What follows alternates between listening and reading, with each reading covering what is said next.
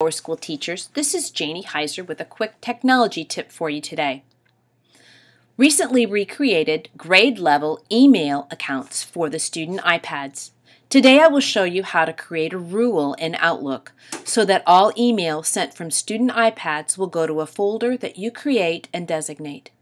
This will keep all your student work or pictures from iPads together in one place and that way they won't clutter up your mailbox or get lost.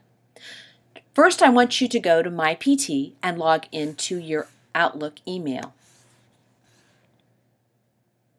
Next, I sent you an email last week and the word test would be in it. So you can search from that email I sent to you. If you've lost it, don't worry, you can ask me again to resend that to you from the student iPads. So I'm going to use the word test to locate that. Here's one that I sent to myself from the grade 4 iPads. Open up the email. It should have the grade level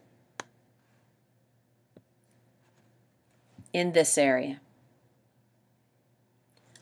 I want you to find the icon that says Create Rule. Click on that icon.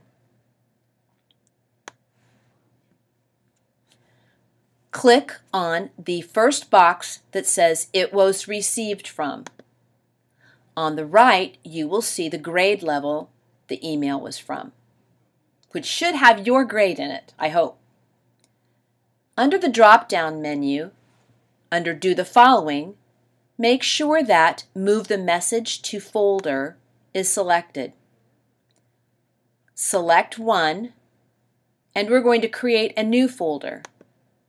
I'm going to call mine Grade 3 student work.